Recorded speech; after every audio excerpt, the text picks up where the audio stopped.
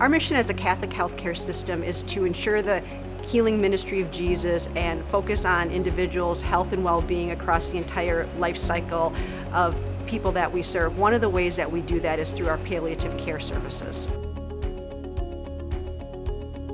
Palliative care is a special kind of care for patients who have serious medical illness.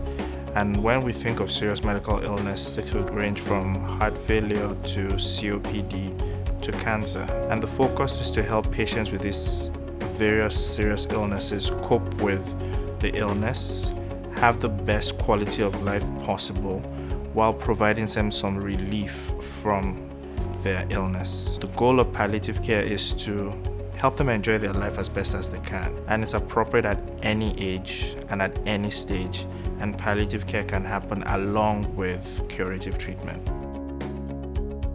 My mother's name was Yvonne Nelson, and she enjoyed her grandchildren, loved to go to the sports, never missed anything. She was known by a lot of the kids on the team as Grandma Honey, and a lot of parents would come up and say, um, they're so glad that grandma was there because their grandma and grandpas don't come. And they would have their pictures taken with her and always see how she was doing. And she was 97 when she passed away. This whole week, when we knew that she was going to pass, it was in my little granddaughter's heart. She told her twin sister she was crying in the bedroom. There were three people there, I can't even tell you who they were. And they said, we've got to do something for this little girl. They were talking to me, I got some books. Of course, I read them first. And it was quite a while ago now, but one I remembered about it. It's everything comes to an end. You know, a beginning, a middle, and an end. And it's different for different people.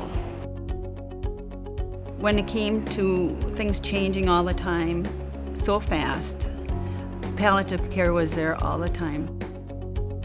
They'd say, "You want to go in the conference room for a little while?" And I'd say, "Yeah." I, you know, I sometimes I'd say, "No, I don't want." You know, I'm not in the mood because if I knew if I opened my mouth, I'd start crying. But most of the time I went and they listened, and I more or less thought out loud. The decisions they helped me make, one step at a time.